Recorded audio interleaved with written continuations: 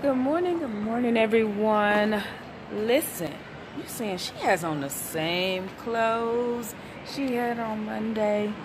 Yes, because you know what? I am still in Denver.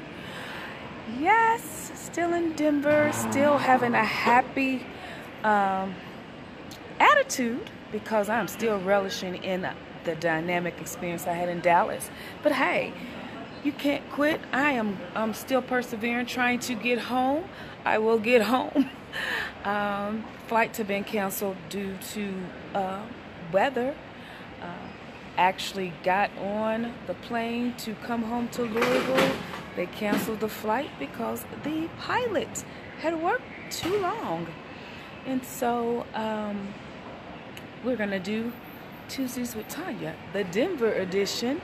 Uh, and I'm doing live and, and living color experience. And I'm talking about how to quit quitting forever. And what I learned since I've been trying to get home, uh, since Monday at 9 a.m., is that sometimes God will put you in a situation where you have no other choice but to keep going.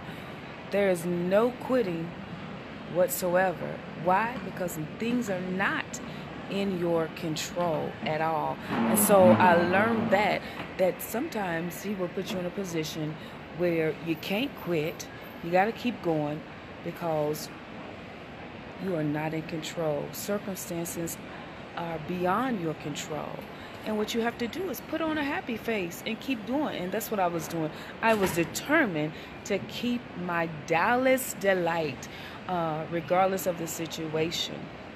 And so, how do we quit quit quit quitting forever? This is what I learned. I have been trying to get home since 9 a.m.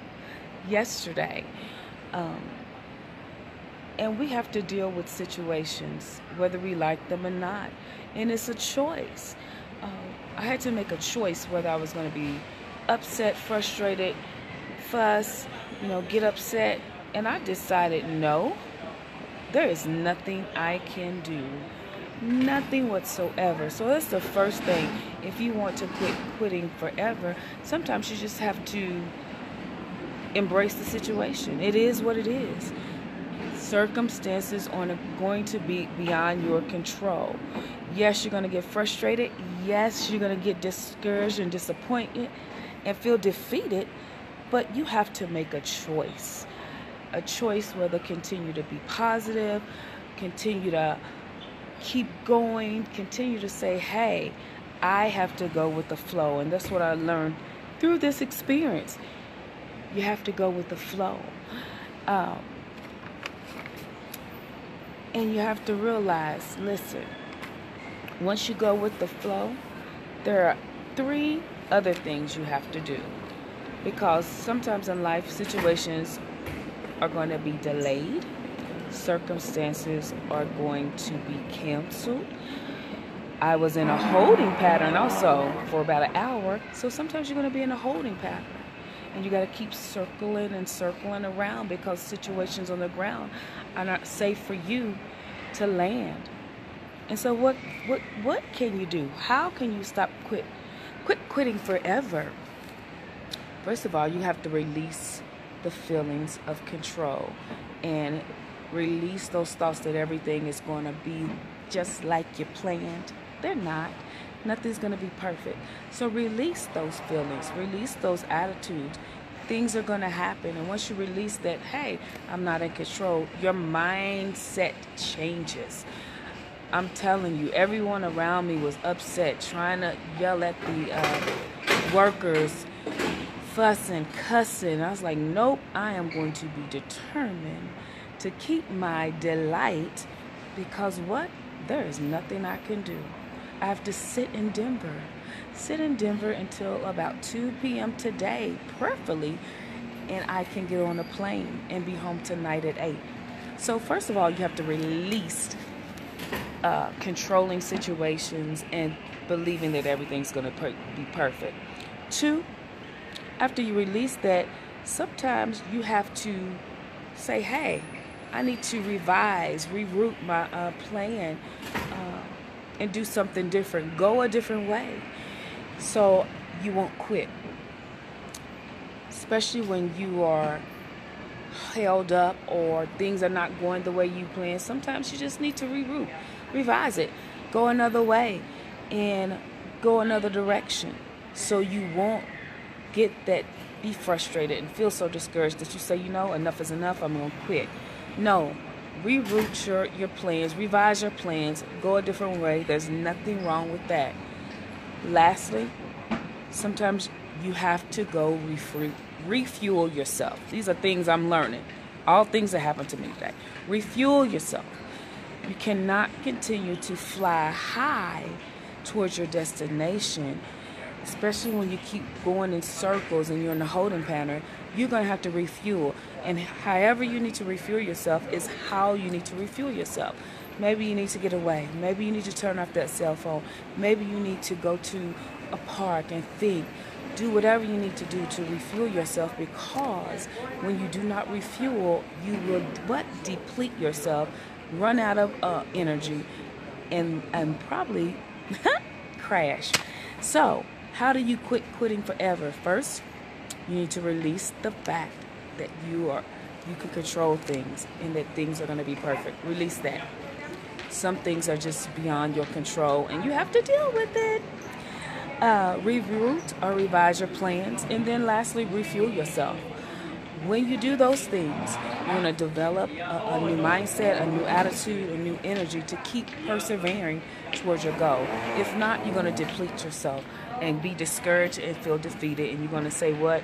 I might as well get up give up. But you cannot quit. You can't quit. There's no other option but to keep going because you have a, a destination to get to and sometimes you just say hey it's beyond my control. I got to do what i need to do and go where i need to go and quitting is not an option all right, you guys. So I gave you Tuesdays with Tanya, the Denver edition, because I'm still in Denver, um, trying to get home. So y'all pray for me. Pray for my travels. Pray that we I will get be able to catch this flight at two o'clock today, so I can see my family. Um, next week will be our last uh, installment for our Christmas in July segment, and I will be talking about how you can get up after life knocks you down. I'm going to give a very personal story. What happened when when my mom died? I felt like the wind was knocked out of me, and I did. I was just discombobulated and didn't believe that there was life after death, especially the death of the woman who gave me life. So I'm going to talk about that next week. And then August, we're going to be talking about topics for my book Relationship Rerun. Now, remember, if you haven't got any of my books, uh, especially Yes I Am Enough, you can inbox me and I'll send you a link. Or you can visit TanyaWhite.com, the store there. It is also on Amazon. I have a Kindle version and a hard copy version. So go get Yes I Am Enough Remember, um, I will be having some great new services that I will announce this week as soon as I get home and uh, put them on my site. I believe you all are going to be pleased. It's going to be what some of you need. And I look forward to working with you all uh, on these new services and boot camps and um, things to get you, especially if you're an author, uh, if you want branding and marketing tips. I have uh, magnetic marketing and branding boot camp, one-on-one sessions for about five weeks, uh, authors accountability academy, and then a book birthing consultation. Maybe you don't need my help to uh, self-publish the book, and maybe you just need consultation on how to self-publish. I'm going to have all those things. And I got some more great things. Why? Because I've been in Dallas being poured into by the Run Conference. Dr. Cass uh, and her team did an exquisite job. Be there in 2019 because we're going to pack out Cowboy Stadium. It's going to be epic, beyond epic. All right, so thank you for tuning in live and thank you for listening uh, to the replay. Remember, uh, yes, you are enough You don't you don't have to quitting does not have to be an option. You can persevere towards your goal when you remember that things are beyond your control. Sometimes you need to reroute your uh, destination or your plans to get to your destination. And lastly, you need to refuel yourself so you don't deplete yourself. All right, I love you guys.